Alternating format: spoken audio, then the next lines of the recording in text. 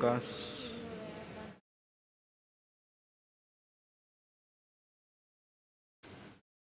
Dalam perjalanannya ke Yerusalem, Yesus berkeliling dari kota ke kota dan dari desa ke desa sambil mengajar. Maka bertanyalah orang kepadanya, "Tuhan, sedikit sajakah orang yang diselamatkan?" Jawab Yesus kepada orang-orang di situ, Berusahalah masuk melalui pintu yang sempit itu. Sebab aku berkata kepadamu, banyak orang akan berusaha untuk masuk, tetapi tidak akan dapat. Jika tuan rumah telah bangkit dan menutup pintu, kalian akan berdiri di luar dan mengetok-ngetok pintu sambil berkata, Tuan, bukakan pintu bagi kami. Tetapi dia akan berkata, Aku tidak tahu dari mana kalian datang. Maka kalian akan berkata, kami telah makan dan minum di hadapanmu, dan engkau telah mengajar di jalan-jalan kota kami. Tetapi ia akan berkata, Aku tidak tahu dari mana kalian datang. Nyala dari hadapanku, hai kalian semua yang melakukan kejahatan. Di sanalah akan terdapat ratap dan kertak gigi. Apabila kalian melihat Abraham dan Ishak dan Yakub dan semua nabi ada di dalam kerajaan Allah, tetapi kalian sendiri dicampakkan keluar. Dan orang akan datang dari timur dan barat, dari utara dan selatan, dan mereka akan duduk makan di dalam kerajaan Allah. Ingatlah, ada orang yang terakhir yang akan menjadi yang terdahulu dan ada orang terdahulu yang akan menjadi yang terakhir. Demikianlah sabda Tuhan.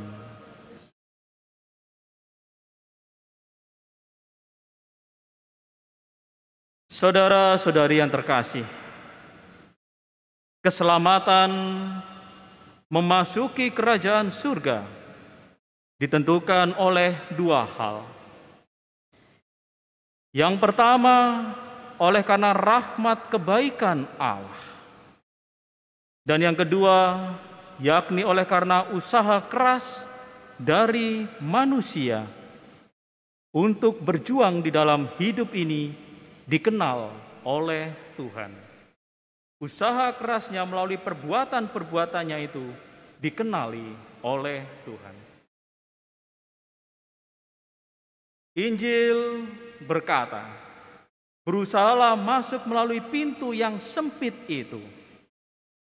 Ini artinya bahwa ada kemungkinan, kesempatan besar bagi manusia untuk memasuki kerajaan surga oleh karena usahanya yang keras itu, oleh karena daya juangnya di dalam hidup di muka bumi ini.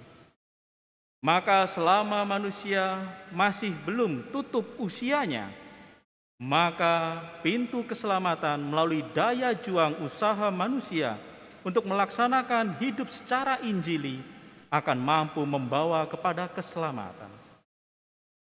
Namun terkadang kita juga bertanya, bukankah memasuki kerajaan surga itu bisa juga oleh karena rahmat Allah, rahmat kebaikan dari Allah, belas kasih dari Allah, Apabila dia berkehendak orang memasuki kerajaan surga, maka orang itu bisa masuk.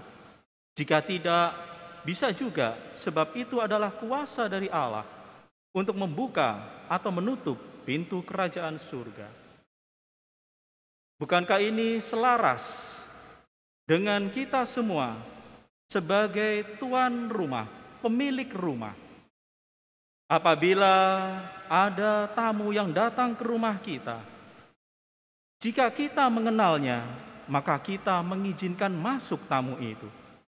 Tetapi jika tamu itu tidak kita kenal, bukankah kita akan membiarkan dia tetap berada di luar rumah kita? Di sinilah, oleh karena kita tidak dikenal oleh Tuhan, maka pintu keselamatan, pintu surga itu sendiri pun akan tertutup. Dengan demikian berarti bahwa agar kita senantiasa boleh memasuki pintu kerajaan surga, maka kita perlu dikenal oleh Allah. Bagaimana agar kita dikenal oleh Allah? Nyatalah melalui banyak sakramen-sakramen yang ada, di mana itu adalah realitas kehadiran Allah. Kita berjumpa dengan Allah secara intensif, maka dengan keseringan kita hadir di dalam sakramen-sakramen itu, berjumpa dengan Allah, maka Tuhan kita mengenal kita jauh lebih dekat.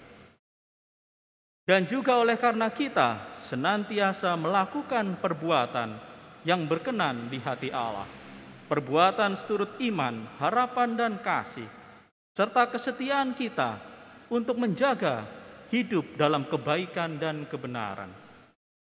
Semua tindakan-tindakan kasih Injili itu, apabila kita lakukan secara setia, nyatalah bahwa Tuhan melalui usaha keras kita untuk hidup baik dan benar, Tuhan akan mengenali kita, akan mengenali jiwa kita.